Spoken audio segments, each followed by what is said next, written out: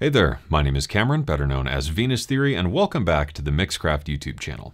Have you ever walked into your studio and started working on a track and you decide to bring in some loops that you downloaded or maybe loops that your friend or collaborator sent you, but they're totally out of time with your session, so you completely lose the groove? Then today, you're in luck because we're going to be talking about the sacred art of beat matching inside of Mixcraft. We're going to be taking two loops from horribly out of time monstrosities to perfectly in time, crispity, crunchity goodness. So let's hop into Mixcraft and get started. Here we are in Mixcraft, and I started off a session for like a drum and bass sort of thing, and right now it sounds like this.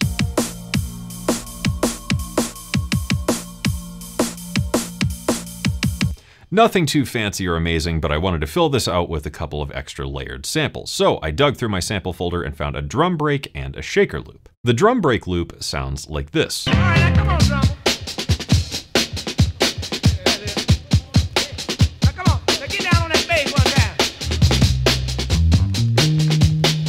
So, good stuff. The shaker loop, on the other hand, sounds like this.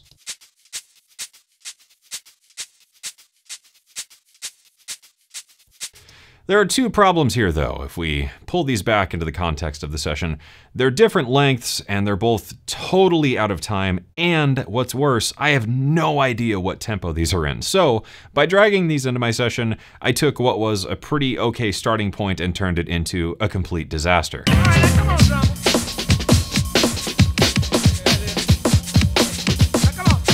Now, while I'm all for avant-garde experimental things, this is, uh, this is just not gonna work for me. So we're gonna talk about two different ways to beat match loops for your projects. First up, let's take a look at the easier example, which would be this shaker break here. The thing with the shaker break is it starts exactly on the one, and in like 99% of cases with professionally released sample packs and loop libraries, they're going to start on the one or the downbeat. So in 4-4, for instance, if we count one, two, three, four, one, two, three, four, these loops are gonna start exactly on the one, and it's just a matter of finding the tempo to shrink them to fit into the project. Normally with samples, you would see the file name followed by a tempo label followed by a key or note label if it's something that's melodic. In this case though, it just says shaker break, so I have no idea where to begin to match this to the tempo. The easiest way to match this in Mixcraft though is to simply hold down the control key and click and drag it to size to a region, in this case four bars. So by taking that, because it does start exactly on the one where it should start, we've taken it from totally out of time to fitting perfectly in tempo with this loop.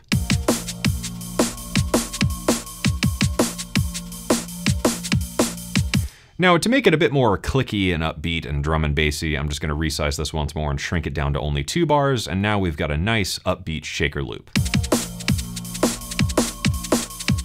When it comes to beat matching in your projects, one thing to keep in mind is that it's better to shrink loops than it is to expand them, because if we take this loop and we expand it all the way out here, it's gonna start to get a little bit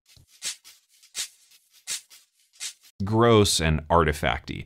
It's kind of like resizing a picture in a photo editing program. We can shrink a picture and it'll still look fine, but if we took a tiny picture and blew it up really big, there's not enough information there and it just starts to look a little weird, and audio is much the same way. It's easy to shrink something because we're not adding any information that's not there. If we expand it though, we're trying to add information that doesn't exist, and it can sometimes cause some undesired artifacts. However, sometimes that can be kind of cool, so extreme time stretching is something to play around with. With the shaker loop done, now it's time to move on to this drum loop, which is going to be a little more advanced, but we're going to walk through it step by step.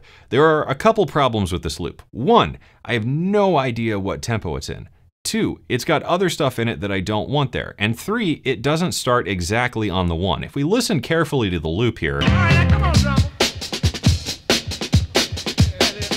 the start there isn't exactly on the one. That's starting on like the maybe like the two and a half or something like that, which is just not gonna work. So first up, we need to zoom in and find the downbeat.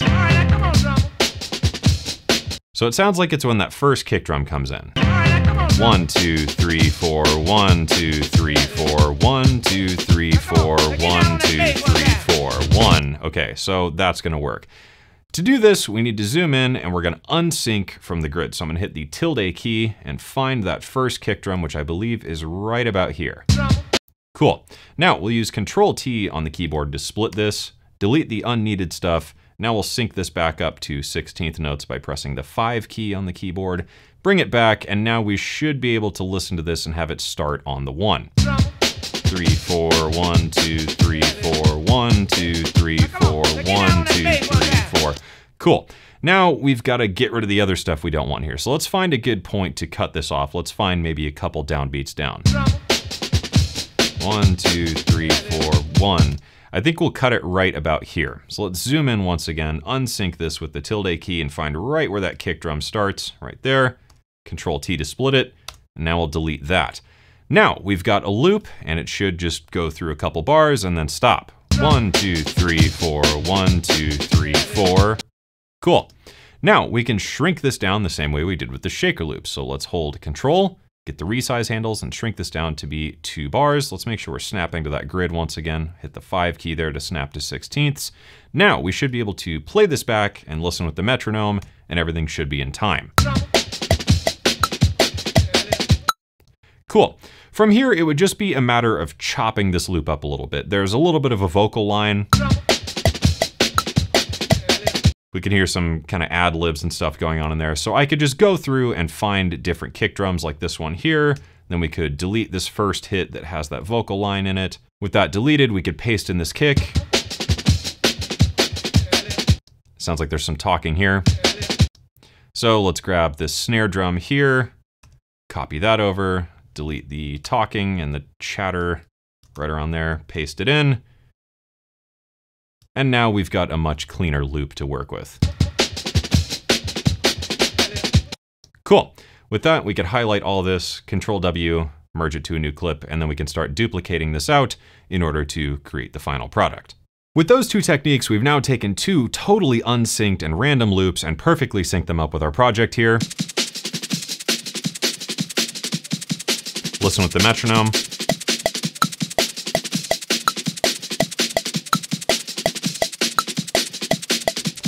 Now we can unsolo this, bring it all back together in context, and see what we've got.